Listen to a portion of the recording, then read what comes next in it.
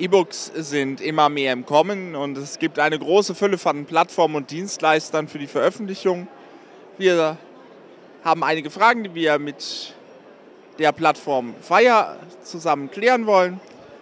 Warum soll bei der großen Fülle, wie zum Beispiel auch Amazon Publishing selbst, ein Autor ihre Plattform nutzen? Ähm, weil wir sehr günstige Konditionen haben. Es gibt bei uns keine laufenden Kosten. Die Anmeldung ist in den nächsten drei Monaten sogar umsonst. Danach ist es jetzt auch nicht sehr teuer, sind 9,90 Euro. Ähm, wir können die Dateien kostenlos umwandeln in die richtigen Formate, EPUB und Mobi. Außerdem machen wir auch die Covergestaltung und äh, wir generieren ISBN-Codes umsonst und auch die Veröffentlichung ist umsonst bei uns. Wird das Buch dann auch bei Amazon veröffentlicht? Natürlich, wenn der Autor das will, dann können wir das auch bei Amazon veröffentlichen. Es bleibt ihm überlassen, in welchen Shops er es haben will. Wir haben über 160 Shops, an die wir liefern.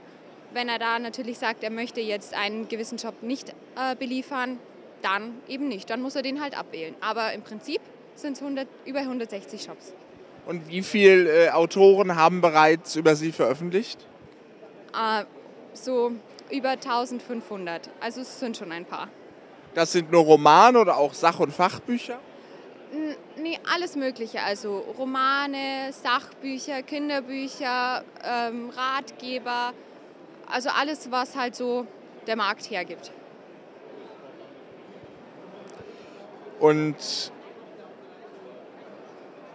was ist, gibt es noch eine Besonderheit im Angebot?